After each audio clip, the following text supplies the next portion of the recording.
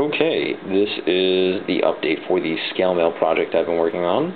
I thought I would do something a little different this time and do a video update, as that's what all the cool kids do on that internet thing I've heard about so much. So right now, you can see we're on panel number two. Panel number one was finished a little earlier in the week. I started panel number two mm, essentially yesterday in the park, and it's going a lot faster. I have the rhythm of it down now.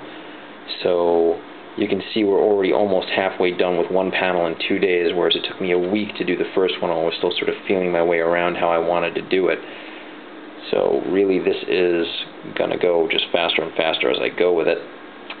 Um, a few questions that people ask me about how many scales are going into this.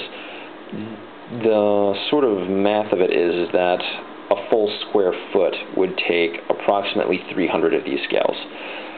Right now, this piece has 155 scales in it, so each of those pieces will have 155 scales, plus additional scales that will go into a seam that will connect them all, and possibly a smaller diamond which is going to go here, and that will be to support belt loops. As we actually shove these together and you sort of get a feel for it, that is what this is going to start to look like, hopefully, by the end of next week and we'll have three panels, one next to the other. On the back side of it,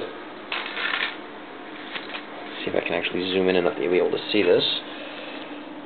You can see here all the links together. I'm going to be taking rings. Originally I was going to use micro mesh, which is what I wanted to use, because you can get machine welded chainmail in very, very small millimeter, about a quarter of the size of this, and these are already, you can see, very tiny rings that is really strong, really lightweight. It's actually the stuff they make um, the shark diving suits out of, and just make a loop out of it and connect it to the back.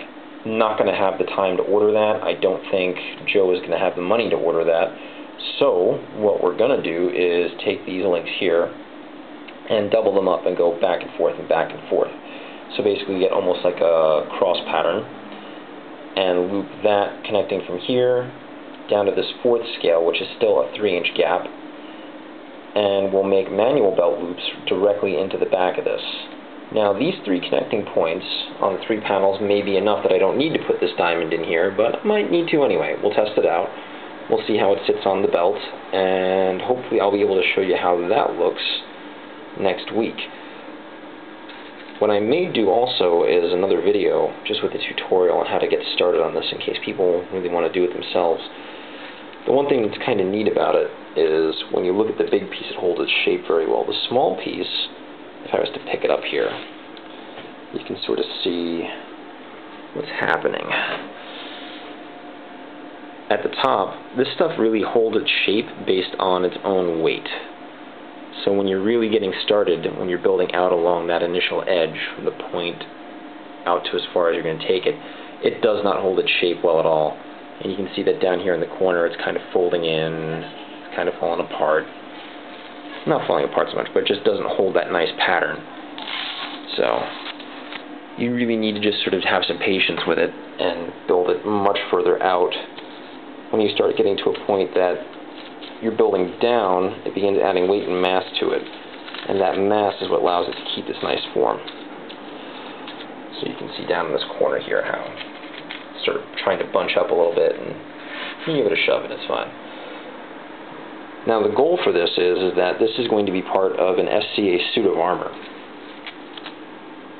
So this 3 PM panels are going to be hanging off that belt. They're going to be going over the back side of the person who's wearing it attached to a main suit of armor, probably anchored off one of the corners, either to the belt itself to keep it from sliding forward and backward, or up directly into the armor. I haven't made a determination on that yet. So that way when a shot comes across, because you know they swing rattan at one another, it's going to come across laterally, and if it hits him in the butt, this will give a little bit of a cushion. You know, it's not going to be padded, it's still going to hurt, but you won't have, you know, that direct rattan on flesh contact. The other nice thing about it is scales, by their nature, want to have things slide down them once they're anchored. So, I mean, if you sit here and look at this, it's just going to go really it's going to encourage the force that's coming at him if someone's swinging down, sort of hit that and slide down it.